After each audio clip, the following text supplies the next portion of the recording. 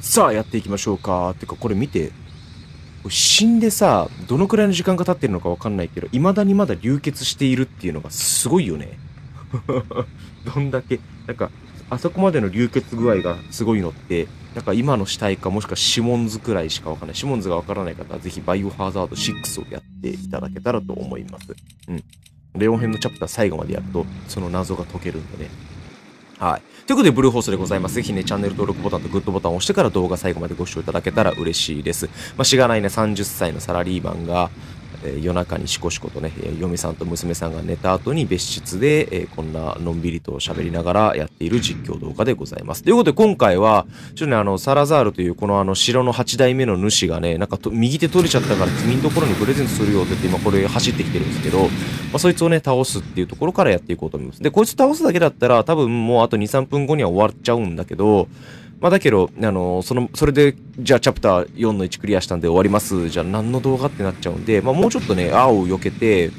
バック転しながら、まあ、避けてですね、で、しゃがんで、そう。で、まあ、ちょっと4の2も少し、まあ、つまみ食いをしてやっていきたいなというふうに思います。まあ、最近ちょっとね、あの、なんだろう、大学生からご相談をいただく機会も多くて、なんでかっていうと、もう2月にも入って、で、3月の1日からね、まあ、例のごとく、なんだっけ、あ、そうそう、就活の解禁時期が迫ってきているっていうのがあって、まあ、いてあれ？ボタン押したのにな。で、実際にその、就活をして、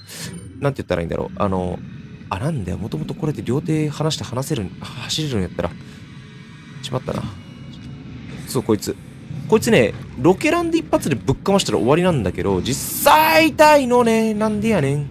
痛くなかったわ。避けてたわ。実際にまともに叩こうと思ったら超強いから。うん。ほんとバイオ4ナンバーワンの強さと言っても過言じゃないみたいな。ということで、お疲れ様でした。こうすることによってアイテムスロットがめちゃくちゃ開くからね。そうしたいだけっていう。うん。まあまあ、それはいいや。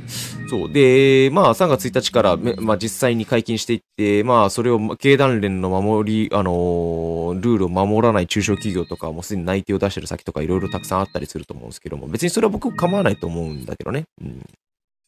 まあ、中小とかベンチャーそうでもしないと大手に取られていっちゃうからね、こう、人材なんかっていうのは。で、まあ、それはいいとして、そうそう。で、まあ、その面接とかさ、その ES の書き方、エントリーシートってやつね、うん、の書き方とか、そのあたりとかのね、アドバイスとか、そもそもその就活の軸をな、どうしたらいいかとかって、まあ、就活に関するあらゆるその相談とかっていうのを受ける機会がこう増えてきてですね。で、まあ、なんかそういういろんな人たちの相談とかを持って、なんかこう、いろいろ逆質問とかして、まあ、聞いていくと、やっぱりこう、なんか将来のことが不安、漠然とした不安とか、なんかこう、なんて言ったらいいんだろう。あの、こう、ちゃんと働けるのかとか、お金が足るのかとかっていう、そういうやっぱ心配とかをしてる人たちとか多いんだけど、まあ、僕もそうなんだけど、僕もまだ言うて30歳だから、こう人生100年時代って言われている中で、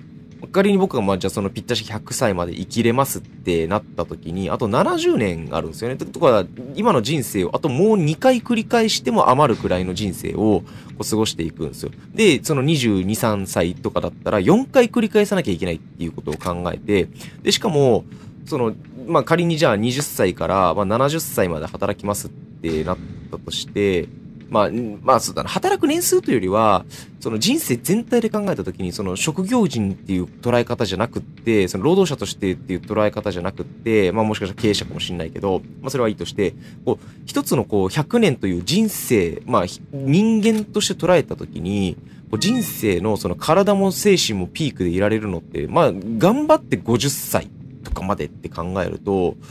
こう、今、仮に20歳だとしたら、30年後にそれが訪れるわけですね、ピークっていうのが。まあまあ、体のピークなんてのは32、3歳でからどんどんどんどん落ちていく一方になるんだけど、まあ頭っていうのはそれ以上にさらに耐えていくから、50歳くらいまでは脳は育つみたいなこと言われたりとかしてるけどね。うん。下へ参ります。そうそうそう。で、でですよ、そう考えたときに、じゃあ残りの50年という人生の方が、そのどんどんどんどん体も脳のピークも衰えていくにもかかわらず、長い、長くこう付き合わなきゃいけないわけですね、自分の人生と。っていうことを考えると、こう、じゃあ自分の体を衰えていってしまうっていう中で、どうやってそのじゃあ残りの人生を幸せだなとか、こう楽しいなとかって過ごしていくことに重要性があるのかっていうと、やっぱりまあいろいろ言われているのは、趣味を見つけること、自分一人で楽しめるっていう時間を見つけるっていうことと、まあ、あともう一つやっぱり人間関係っていうところなんでね。だから、今もそその20歳の子たちに対して、こうなんか就活に関するアドバイスを求められたとしたら、もちろん就活そのものについてのこう回答もしつつ、もっと大事なことっていうのは、やっぱり今のうちに一生涯こう、お互いどちらかがしくたばるまで付き合うことのできる人間関係を今のうちにたくさん、まあたくさんっていうよりは、まああの数えられる程度でもいいから、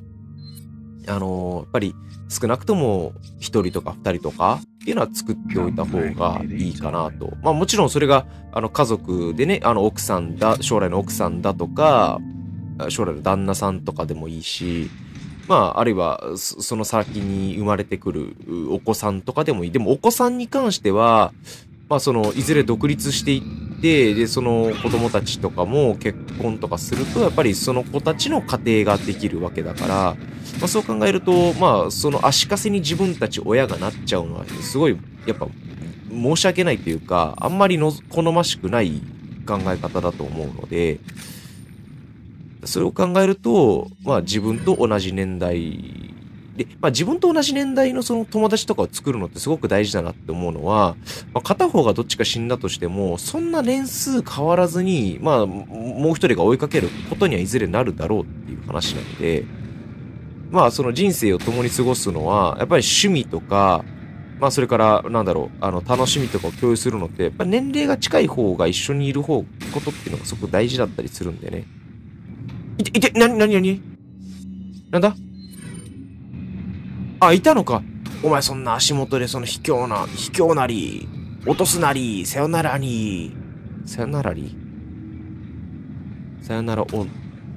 うん、これ、これ以上、これ以上言うと、言うとまずい話だね。うん。だから、そうね。だから僕も、その、まあ、残念ながら、こう、いろんな趣味とか楽しみとかを共有できる、おう、危ねえ、気づいたら奴がいた。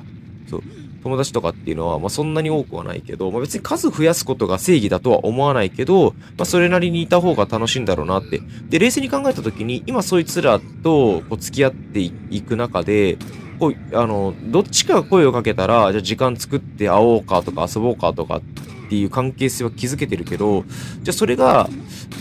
まあ、どっちかが死ぬまでずっとその関係をお互い続けようと思っているのかっていうと、僕は全然その今仲良くさしてくれてるこ友達たちと、こう、今後も付き合っていくことっていうのは全然もういとわないというか、むしろ楽しんでごっつぁんですっていう感じなんですけど、向こうがそう思ってくれてるかっていうのは微妙なんだよね。それってなんかさ、直接聞くのもやらしいし、でも聞かないままでいるのもなんかそわそわしちゃって逆にストレスになってよろしくないしって、なんか微妙なところっすよね。うん。じゃあ、なんか相手も落ちてるけどもうめんどくさいんで、このまま戻っていきます。あの、武器を改造することによって弾を装填するという貧乏症マックスをあの披露したいというふうに思います。まあ、そんなことを言いつつ、そうそうそう、そう。そうなんだよね。だまあ結局、あの、なんか、就活っていうとどうしてもこう、どんな会社に入って、どのくらいの給料をもらって、まあどんな働き方ができて、で、対、あの、福利厚生はどうかとかってね、こう、な、なんだろう、だ、誰と話してた時だったかな？あ、そうそうそう。あの、辞めちゃったけど、ま、前の会社にいた時に、その、パートナー企業の、まあ、新人育成、営業力強化っていうことを、こうちょっとお願いされた時期があって、4人くらい女の子がいたのかな？で、その4人の女の子に、なんで今の会社に入ったの？っていう、まあ質問をしたんですよ。うん。で、その、まあ、その、上司とか先輩とかがいる前で、そんなこと聞くのもなかなか面接っぽくて酷なのかなとかって思ったけど、でもやっぱり、あえてこう言葉に出してみて、自分がその確信を得ていくっていうことってすごく大事かなって思ったんで、なんで入ったのって言って、やっぱり、福利厚生ががいいからとか、やっぱ名が売れてるからとかって、まあ結構その、聞いたら誰もがわかるような大企業に勤めてた子たちだったんで、そうそう。なんで、まあ、そおお、あれ？死んでなかったさっきのやつ。これ、やばいあー、ちょっと待って。あー、そういうことか。オッケーオッケーオッケー。で、このままふっと振り返って逃げてったら、多分下、青、自動爆発。そう。で、福利、福利厚生って答えた子が4分の2いたんだよな。うん。それってそんなにすごい大事なのかなって思うけどね。給料さえ上がれば、別にその、まあ、まあ、社会保険とかそういうのは大事なのかもしんないけど、うん。あんまり気にするようなことでもないんじゃないかなって思うけどね。まあでもどちらかというとその冒険というより安全志向の子の方が増えてるんだろうなって思ったけどね。そうそうそう。だからもちろんその、どの、どういう会社でどんなね、生き方ができるのかって、働き方によって生き方ができるのかっていうことを、まあ、考えておくっていうことは、まあ、すごく大事な一方で、すごく大事な一方で、やっぱりそれを飛び越えたね、人生として、まあ、どう考えるの仕事なんてさ、適当にやっててもさ、別にね、あのー、怒られようがな、何しようがさ、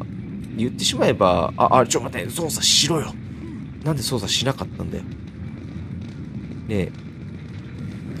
会社が困るだけで別に自分が困るわけじゃない。多少ボーナスがさ、その差し引かれようがさ、結局、あの、生活のクオリティとかさ、その、かかるお金とかを変えてったらさ、